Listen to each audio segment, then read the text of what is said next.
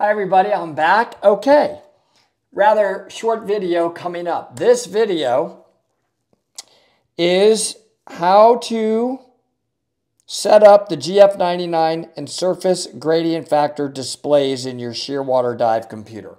So look, in general, they're very easy to use. Shearwater Dive computers, this is the Perdix 2. You squeeze these two bottom buttons and voila, our computer comes on and hopefully it focuses. There it is. Left button is big menus. So look, left, turn off, select gas, switch, dive setup, dive log, start Bluetooth, system setup. Okay, that's the menu where I now right click into it. So I'm clicking this right button, right click into it. And you can set up all kinds of different things in here. So I'm not going to deal with mode setup right now. I'm not going to deal with my deco setup. This is where I would be able to control various deco stops and my set my gradient factors. That's for my transmitters. This allows you to control what is displayed in your center row. That is what Andy is going to be talking about in his article because what he likes to display in his second row, I'm just left clicking now all the way through.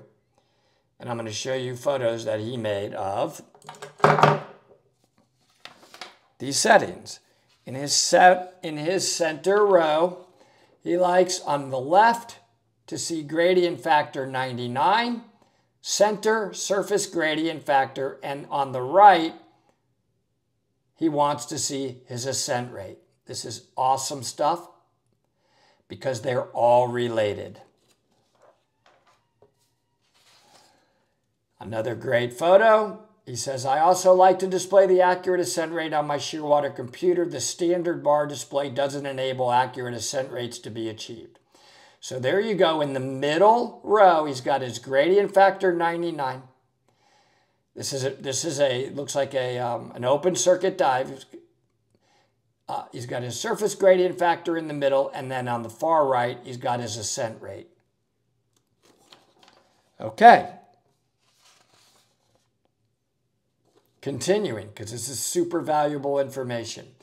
He says knowing your exact ascent speed is unbelievably useful, especially as you get shallower, right? It's going to enable you to get really consistent and accurate about controlling this gradient factor 99, which of course impacts ultimately what you will be at when you surface, and you control this ascent rate at the same time. I agree with him on this. So he says he ascends at about uh, 9 to 10 meters per minute from the bottom to his safety stop but then slows down a lot. From the safety stop to the surface, he slows down to three meters per minute. I agree with that because from the safety stop, from the safety stop to the surface, that's the biggest pressure change. So you don't want to go fast there. If anything, after your safety stop, go even slower because the percentage of pressure change in that last 15 or 20 feet is enormous. So I really, really go slow there. Now,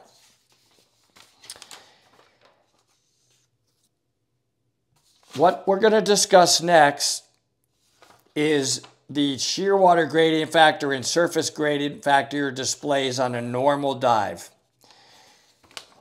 Don't jump to this video.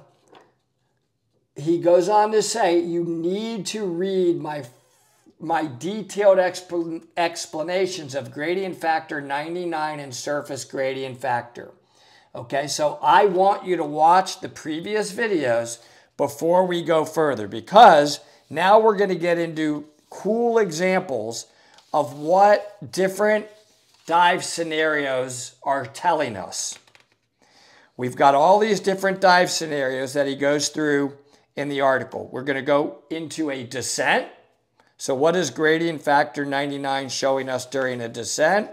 We're going to look at gradient factor 99 during your bottom time while you're diving. And we're going to look at gradient factor and surface gradient factor at the end of your bottom time. We're going to look at that. Then we're going to get into the ascent, which is what we have to control. We're going to look at gradient factor and surface gradient factor at the start of the ascent, during the ascent, at the start of the safety stop, at the end of the safety stop, and then surfacing from the dive. And even get into multi-level diving examples. So lots of cool things we're going to look at, how to interpret that information. All of the videos I've done so far are leading up to this. You got to understand that information in order to understand the next series of videos we're going to do. Bye, everybody. Hope this is helping. I love gradient factor. I love shear water.